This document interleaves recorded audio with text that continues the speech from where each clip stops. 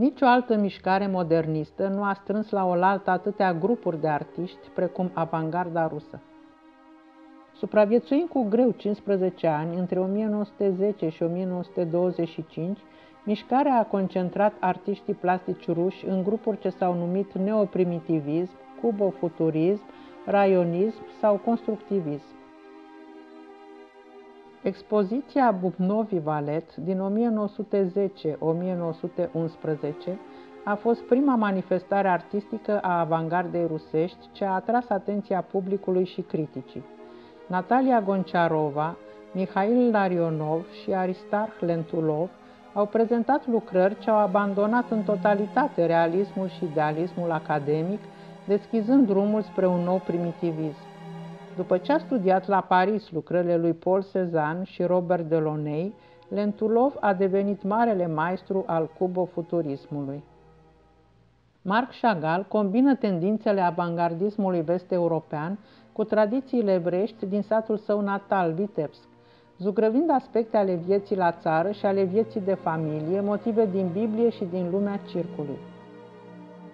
După ce realismul socialist a fost instaurat de Stalin, Chagall, care a emigrat în Franța în 1922, a fost singurul artist ce a păstrat pentru toată viața un mod de a picta magic impregnat de spiritul amintirilor. El a rămas cel mai important precursor al mișcării suprarealiste ce a apărut și s-a dezvoltat în Franța anilor 1920. În totală opoziție cu Chagall, Kazimir Malevich, asistentul acestuia în primii ani ai Revoluției Ruse, a abordat suprarealismul dintr-o perspectivă complet abstractă, dând prioritate emoției pure în fața naturii foarte concrete.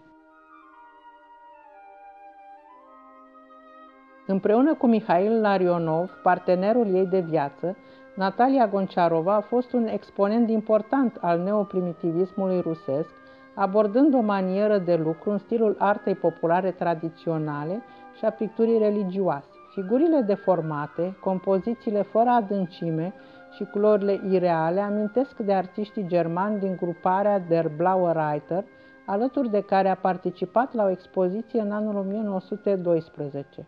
Acest tablou face parte dintr-un ciclu de nouă picturi numit Recolta. În anul 1911, cuplul Larionov-Gonciarova renunță definitiv la tradiție și aleg o cale radical nouă pentru arta plastică. Un an mai târziu fondează și conduc grupul avangardist numit Coada de Măgari. Detașându-se de arta naivă și expresivă a primitivismului, adoptă un nou stil de a picta numit raionism, un limbaj vizual dinamic ce face apel și la anumite elemente stilistice proprii orfismului, cubismului și futurismului. Ca și în această lucrare, subiectele concrete abstractizate și stilizate sunt suprapuse peste un fond plin de raze colorate. La începutul anilor 1920, Malevici dezvoltă teoria sa revoluționară despre suprematism, dar în jurul anului 1930, creația sa artistică cunoaște o schimbare stilistică radicală. În 1924, Stalin ajunge la putere, suprematismul este interzis, iar realismul socialist devine singura mișcare acceptată. Malevici este arestat în 1930 de către NKVD sub acuzația de insubordonare politică. În această lucrare, realizată imediat după eliberare și predată autorităților în semn de distanțare față de trecut, omul fără chip pare a fi chiar artistul, iar clădirea cu gratii la geam o închisoare. În 1935, anul morții lui Malevici, studentul său, Constantin Rojdestvenski, a realizat o serie de peisaje suprematiste cu care se distanțează de lucrările sale anterioare specifice realismului socialist. În memoriile sale publicate în 1970 spune Paul Cezanne s-a luptat pentru a reprezenta gravitația lumii materiale ce ne înconjoară. Suprematismul este imponderabil. Este expresia tensiunii și energiei dinamice a spațiului cosmic a unui spațiu guvernat de o realitate diferită ce nu cunoaște ce înseamnă sus sau jos, ce este greutatea sau gravitația. Kazimir Malevici a deschis ușa spre el.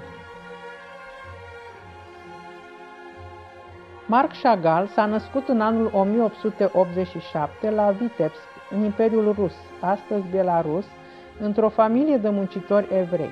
Copil fiind, a primit lecții de canto, vioară și desen, iar mai târziu, ca adult, înființează o școală de arte plastice unde invită să predea pe artiștii avangardiști Kazimir Malevici, El Lisitski și Ivan Puni.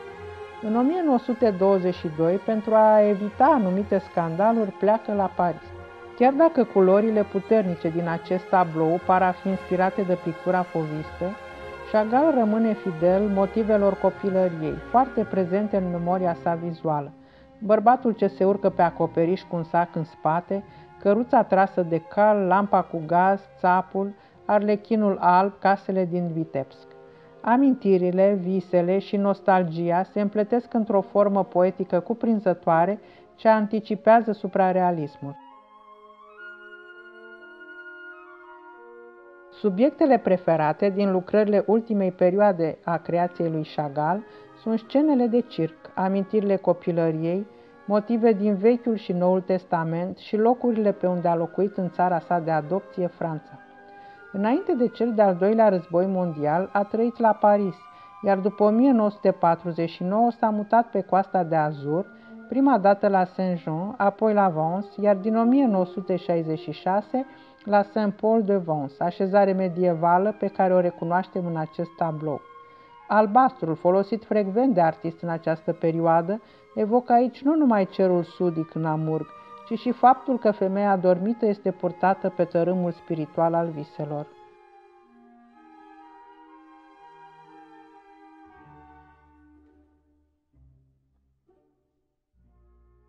Herbert Batliner spunea Am cumpărat cu ochii, nu am ales lucrările dintr-o carte de istoria artei.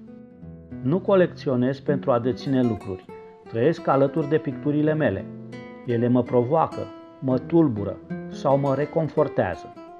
Mă îmbogățesc emoțional și spiritual într-o măsură mult mai mare decât o face valoarea lor financiară în creștere.